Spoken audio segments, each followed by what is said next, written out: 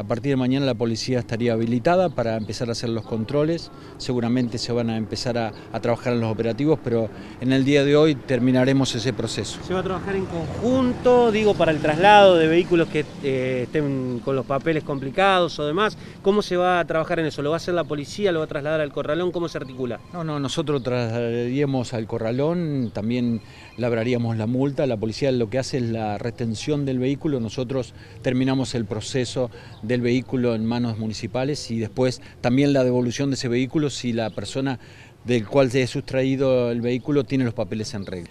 La necesidad de seguir controlando las motos sin patentes y sin papeles va a seguir. Nunca uno puede estar conforme o disconforme. Es una necesidad, lo tenemos que hacer y lo estamos haciendo. ¿Toda la posibilidad de que haya más controles respecto a los que pueda hacer el municipio y la policía por su parte? Sí, por supuesto, porque la policía va a ser un organismo más de control. También en la mañana de hoy acabamos de firmar con la Agencia de Seguridad Provincial Vial la posibilidad ya está en nuestras manos de controlar las concesionarias para que en las concesionarias ya no salgan sin casco y sin patentes. También en la mañana de hoy lo hicimos, así que estamos cumpliendo con lo que habíamos anticipado. ¿La firma de este convenio ha llevado que se recondicione de alguna manera el corralón? No, no, para nada, el corralón está en condiciones.